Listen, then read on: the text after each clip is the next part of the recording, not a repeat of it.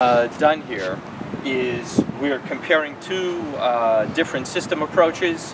One of them uses max power point tracking with a 72 cell module that produces about 40 volts and uh, roughly 8.5 amps of current.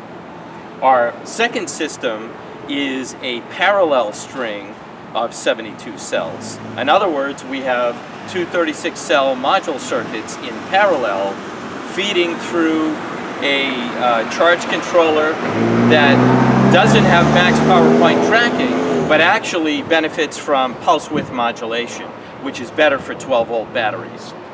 So if we uh, come in, what we've done is we've got two loads running continuously. Each one consumes about 0.67 amps of current at 12 volts.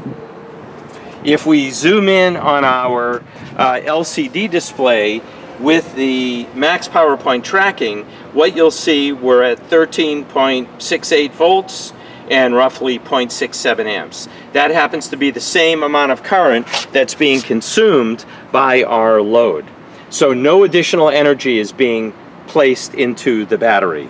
On the other hand, if we look at the Merlin system, we actually have 1.2 amps of current at 14.4 volts feeding the entire system.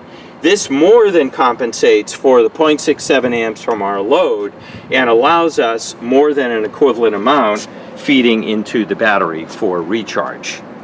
Showing that our system is not only more efficient, uh, but it's actually better for battery life and uh, battery durability.